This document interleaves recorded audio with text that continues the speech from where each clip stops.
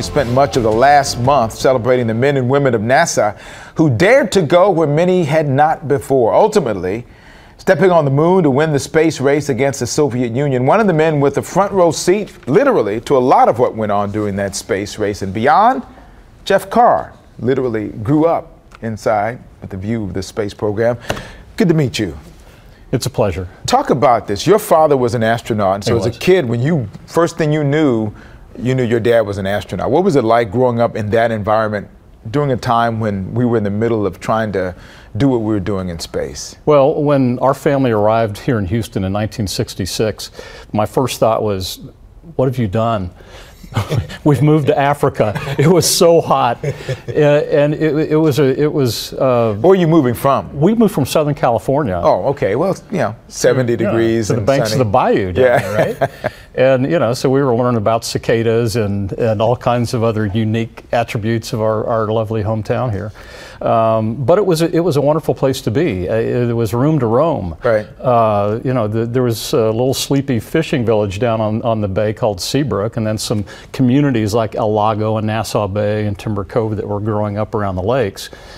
And once uh, NASA had decided to build the Manned Spacecraft Center, uh, on the land that used to belong to the uh, the West Ranch, mm -hmm. then Humble Oil, and then Rice University, and then uh, the, the Manned Spacecraft Center.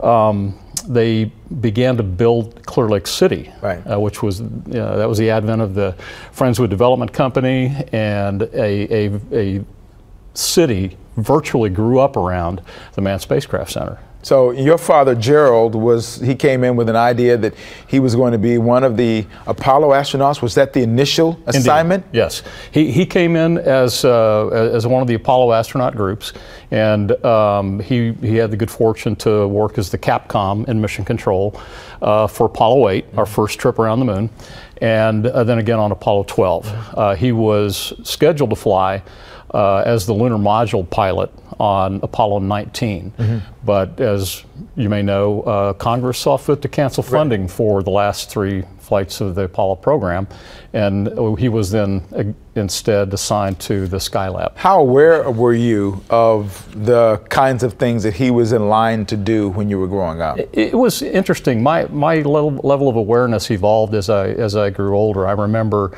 for instance, um, the Apollo 1 fire uh, and how it sort of uh, traumatized yet galvanized our community uh, around the tra tragic loss of uh, three of our neighbors and friends. Uh, that's when the, the, the, the, risk associated with the business my dad was in became very real. Mm -hmm. um, but then there was Apollo 8 when I was, you know, a couple blocks behind playing with Glenn Anders you know, and, and I was shoot away to go home, and I was riding my bike around Lakeshore Drive, and I looked up at a crescent moon, and I went, Glenn's dad is there. oh, and he's going to be famous. It was, it, you know, so it was a, a, moment at which I realized the enormity of the undertaking uh, that we were all involved in.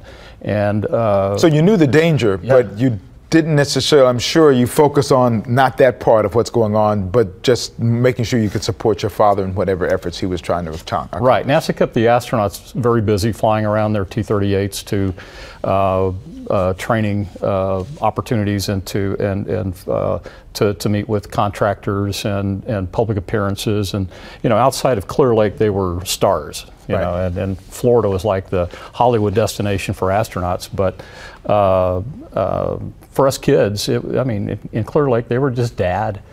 Um, it was a lot like living around a, a, military base where everybody's dad is involved in something important. Mm -hmm. it, it's, a, it's an important mission, and right. we all know that. we all feel that sense of responsibility to the mission. I saw the pictures of your dad early on with the Apollo uh, patch, and also a picture of you with you're a little kid in this picture. I don't know which one you are. They're all cute, so what the heck, you know? But there was a, you have the uh, the patch, and he and when he first came into the program there, so. Uh, what was the most memorable part? Obviously, he didn't get on 19, but he went to Space Lab, which was Skylab, Skylab right. which was the precursor to um, it was America's first, station. yeah, America's first space station, and uh, uh, the fact that he he was on orbit for 84 days um, was. Uh, you know, that was a record that was not broken for a long time, mm -hmm, and mm -hmm. we were very, very proud of that. The, the, the Skylab was, and, and, I learned more about this during my years at NASA as an adult than I did uh, as a child.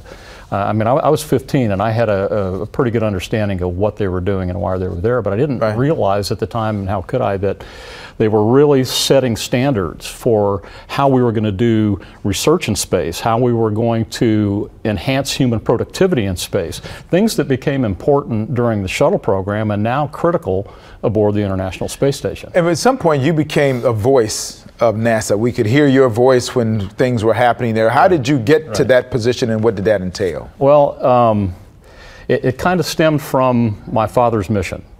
Uh, we were told a couple days before splashdown that the networks, this you and I remember when there were only three, right? Sure. Yeah. yeah.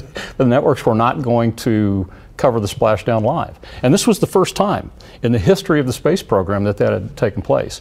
I wrote a letter to the president of each network, making my case and appealing their decision to do that.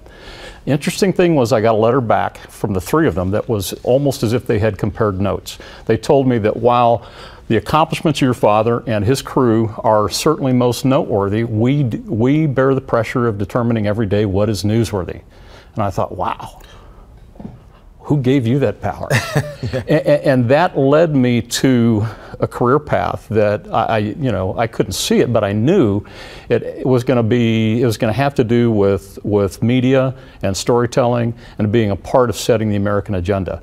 And I was just about to go to work for McCann Erickson here in Houston as a traffic, you know, uh, guy, and uh, I heard about a, a, a job opening at the Johnson Space Center with the audiovisual contractor. I had a art, radio, television, film degree from Texas.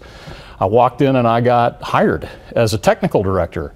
I didn't know what that meant, but that's really how it started. And I had the opportunity then to work for NASA as a commentator. I'm, I'm going to talk more about that. In fact, you, you, know, I'm a geek about this. Many of you are too. Admit it, you know you are. Uh, we're going to do the Newsmakers Extra. So go to the Newsmakers page on clicktohouston.com. You can see the rest of our conversation because there's much more to come on this.